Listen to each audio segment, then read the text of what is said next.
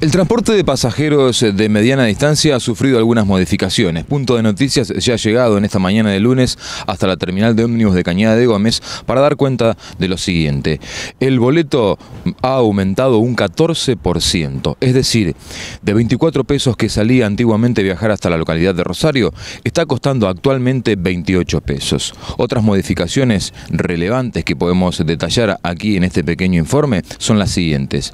A las parejas antiguamente estaba contando 11 pesos, cuando hoy está valiendo 13 pesos con 50.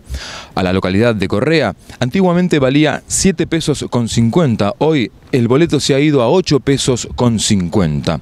A la localidad de Las Rosas, de 19 pesos que valía antiguamente, hoy está costando 22 pesos. Lo mismo a Carcarañá, que valía 9 pesos y hoy eh, está costando 11 pesos. Por último, Armstrong, que costaba 8 pesos con 60, está costando en estos momentos 10 pesos. Estas modificaciones eh, se han hecho realidad a partir del pasado domingo 17 y se van a estar dando habitualmente, según nos han informado, solamente en los servicios coordinados de Monticas, Transur y Güemes. Vale destacar también que los descuentos a estudiantes se siguen haciendo de la misma manera, es decir, se está descontando tan solo el 50%. Punto de noticias se llegó, reiteramos, hasta la terminal de ómnibus de nuestra localidad de Cañada de Gómez y preparó este informe en la cámara de Mariano Hernández. Mi nombre es Víctor Machado.